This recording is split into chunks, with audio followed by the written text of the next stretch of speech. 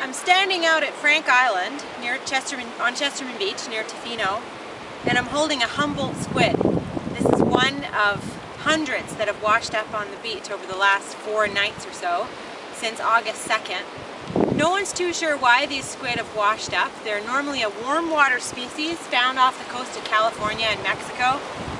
They might have got caught in colder water up here as they came north hunting for prey like sardines and mackerel and herring and they've washed ashore.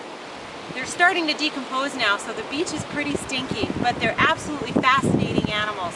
And we're going to take some stomach samples to send out to Ontario to a student at university there who's going to do DNA analysis on it and confirm what they've been eating.